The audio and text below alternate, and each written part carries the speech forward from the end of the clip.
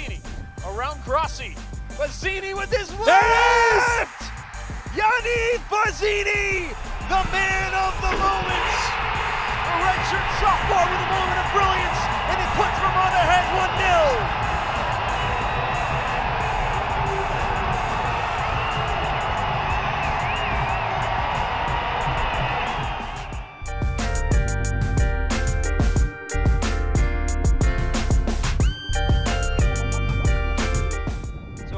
Kick for UVM. Nagy stands over it.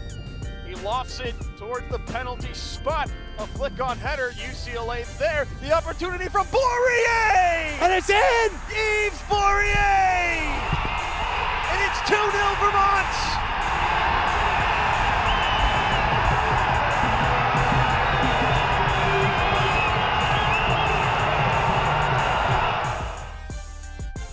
Header. And he's in. flicks it on towards Nagy. Can Nagy close it out? Alex Nagy, a brilliant save, but he's there Ah, on the, the follow-up. rebound! Make it three. Alex Nagy, in his final game at Virtue Field, puts this one to bed.